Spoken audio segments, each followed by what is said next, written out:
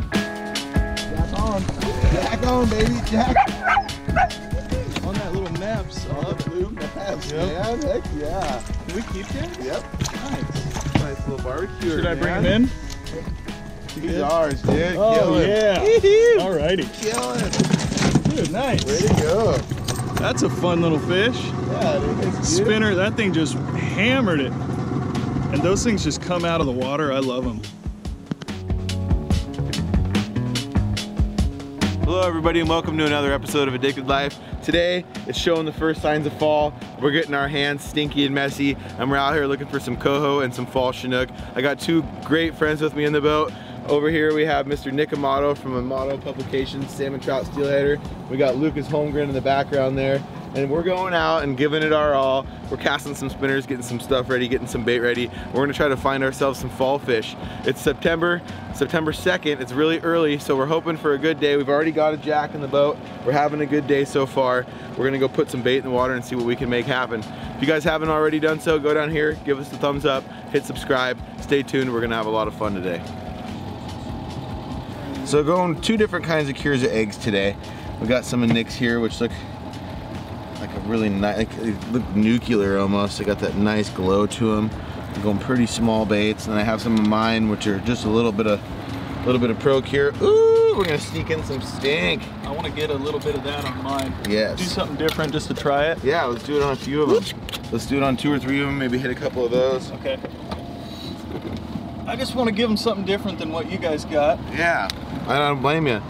So we got a little slamola powder. We got some sulfites we're gonna add to them. We're gonna just play around all day. We got a few shrimp that we're gonna add on here. And we're gonna see the hover game's on. A couple different shrimps. See what I mean about getting stinky and messy. We're going for the whole shebang today.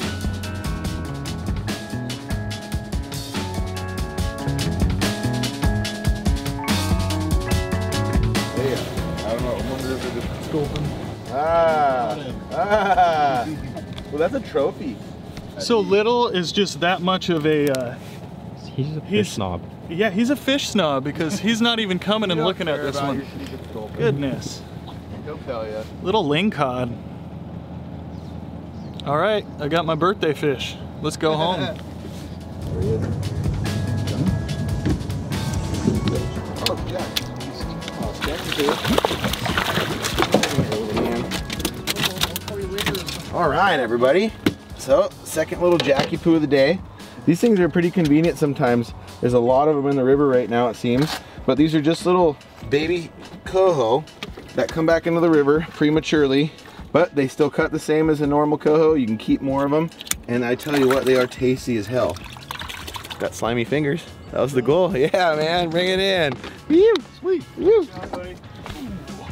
Jack. Behind it. In there. Back on. Way to go, dude.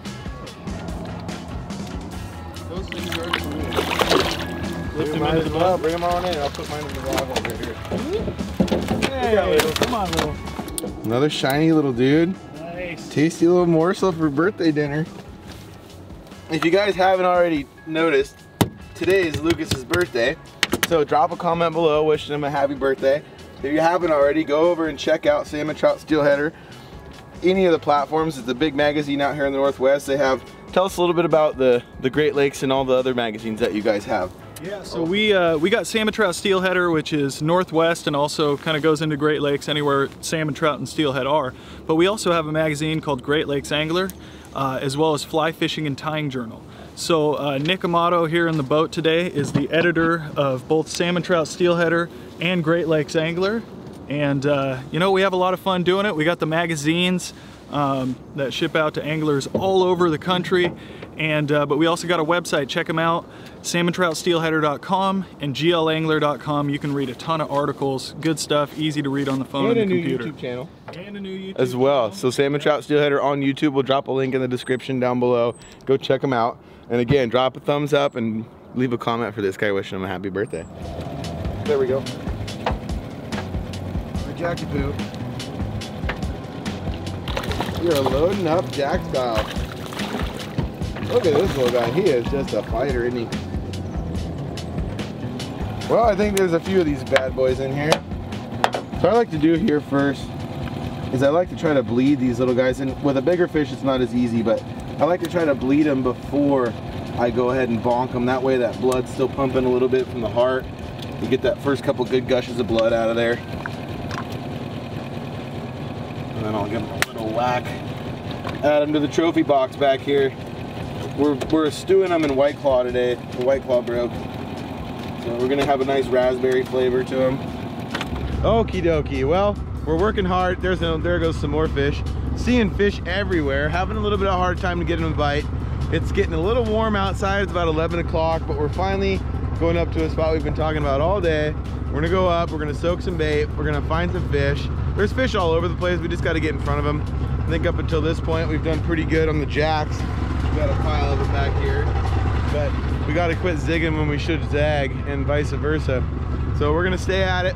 We're gonna get some fresh baits on here. We're gonna move up into a hole with a bunch of fish and we're gonna cross our fingers. We can mark one more species off. We're hoping for today, if it works out perfectly, is we're gonna hopefully get a coho, which we've already marked off the list. We're gonna get a chinook and then hopefully a steelhead. So if we can make all of them happen, there goes a really nice one. Dang. If we can make that all happen, we're gonna take them home. We're gonna do a little taste test and just click that thumbs up for sure if you like today's video. We're gonna keep fishing hard and let's hope for the best.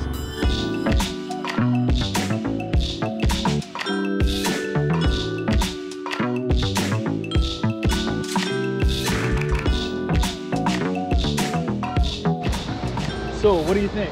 Jack or a sucker? Yeah, uh, let's just hope it's something okay here.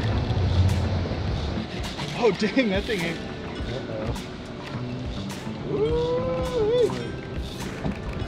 Well, whatever he is, he's a strong fish. That thing is not giving up today. you got it? Did you lose it?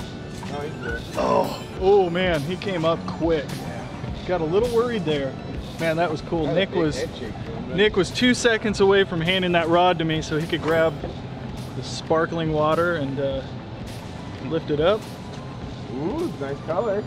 Nick, how long you been doing this uh, hover fishing thing?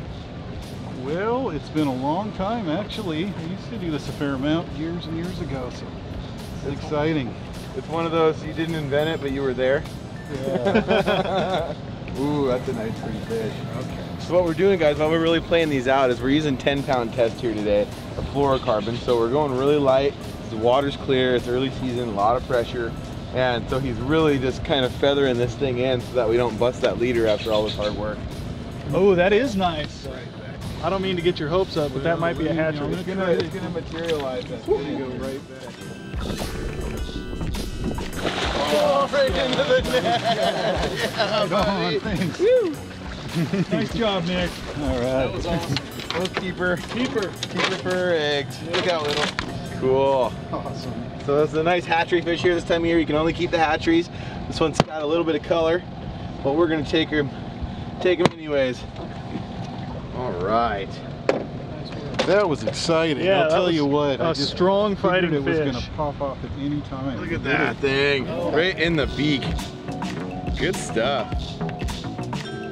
Well, we got a pretty typical average size fall Chinook. Fought like it was 20, 30 pounds. But some hard work paid off. We kept at it. Right? Kind of how it always works too, right? As soon as we stop paying attention, right? Absolutely. Stop paying attention. There it was. Nice hatchery fish. Speaking of jacks,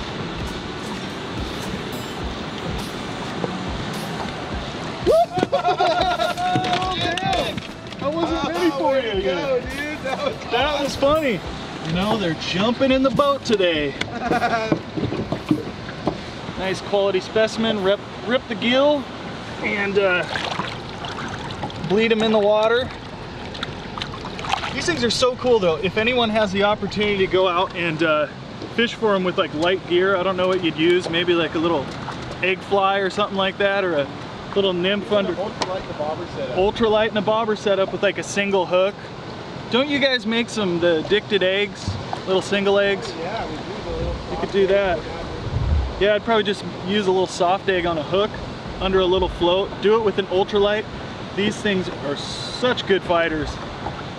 You know, that that's good size if it were a trout. So There's a lot of meat on them. Salmon snobs, you know, we like to stick up our nose and say that's a little fish, but it's really not.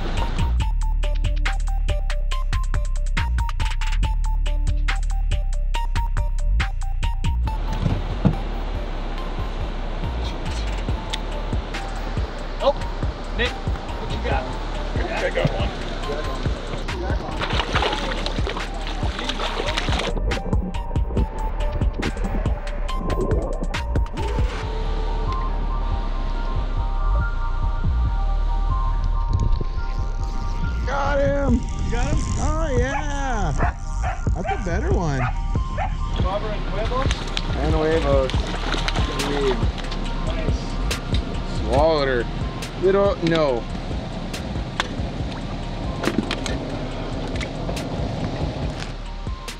What, there you Get it? Got him. Nice. yeah, baby. That was cool. I saw that. this Drainski. He wanted it for all it was worth, man. Oh, that's the best one of the day right there. Heads up, little. He's coming in. Whoa! This guy's got some spunk. Dude, that's a good one. What the heck? The LVD. Dude, that is a quality one. Oh, yeah. Oh, that He's swimming away with it. Look at it. Cool.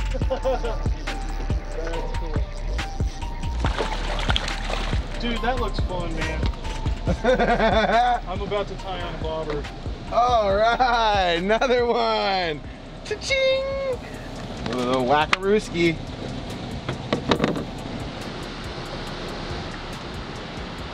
There? oh my goodness. I'm snagged. Kill that little bastard. Let's do the lift.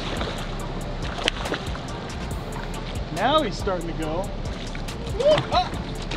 Goodbye. Hello. Goodbye. Oh yeah. Oh, he's a runner.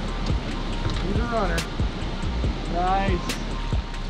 Some good flies that might work. Oh, he's a jumper, dude. They want so badly to be a real coho, don't they? Yep. Oh, get him, man. Get him. Get him.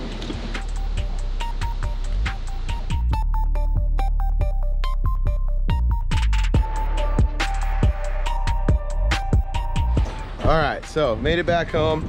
We're gonna get these little bad boys whipped up. And tonight, we're doing a fun little recipe, but we're actually gonna flay these up at home. We have to be to live feed here in a couple hours. If you guys have never seen our live feed, it's on YouTube and it's on Facebook and it's the Addicted live feed. It's on the Addicted Fishing page on YouTube and Addicted Fishing Forum on Facebook if you've never seen it before. Stay tuned. We're gonna whip these bad boys out, then we're gonna head on down the road to Marlon's house.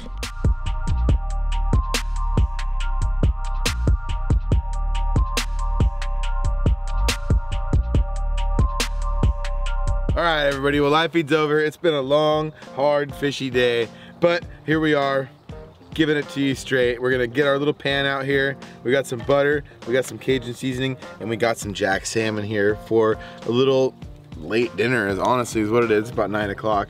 Uh, if you guys have never seen it before, every Wednesday at about 7 o'clock, 6.30, we do live fishing shows on YouTube and Facebook. So if you haven't ever checked that out, go down, be sure to tune in on those days, and you can go back and watch some of those live feeds too. They're really fun and entertaining, and you might learn something.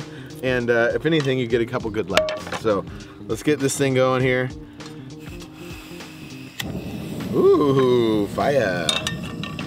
So all we're gonna do mainly it's one of the most simple little seasoning recipes here. I just got some Cajun seasoning here, kind of a blackened seasoning. And I'm just gonna give that bad boy a good little cover in there. A little bit of pepper. Keeping it simple, the stuff's gonna be tasty just by itself. So let that sit for just a little bit. I got a little more of this blackened seasoning, man. I like this stuff a lot. I like a good little spice, a little bit of Creole flavor in there shake on and injectable. Man. Some butter going here.